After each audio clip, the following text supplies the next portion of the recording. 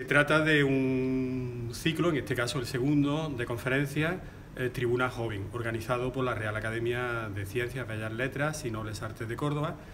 Aprovecho para agradecer la sensibilidad del director de, este foro joven y de la Academia, eh, don José Cosano, por, eso efectivamente la, sensibilidad que ha tenido la Academia para acoger este, este ciclo. El ciclo se titula Seguridad Alimentaria y Salud.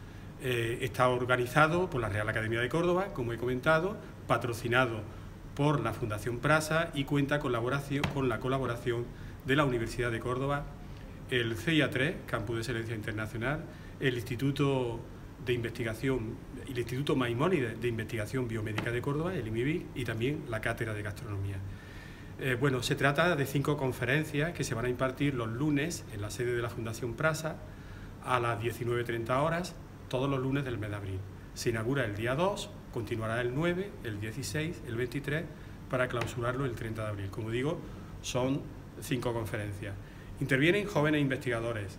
Hay que decir que jóvenes investigadores, teniendo en cuenta la dificultad que tiene la carrera investigadora, pues estaríamos hablando de jóvenes investigadores consolidados, pues con un perfil de unos 40, 45 años. Eh, obviamente mi papel aquí es no intervenir, para eso están los jóvenes, sino coordinar el ciclo. Intervienen investigadores del CIA3 e investigadores del IMIBI, todos ellos naturalmente adscritos a la Universidad de Córdoba.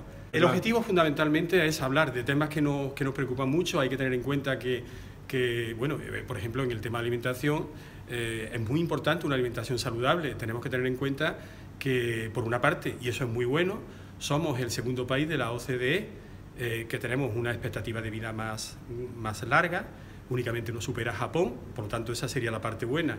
Pero ¿cuál es la parte mala? La parte mala es que en el contexto de la Unión Europea somos el segundo país, únicamente nos supera el Reino Unido con una mayor tasa de sobrepeso u obesidad. Uno de cada cuatro españoles tiene o bien sobrepeso u obesidad, el 25%. Entonces, bueno, pues realmente eso quiere decir que algo no estamos haciendo del todo bien, ¿no?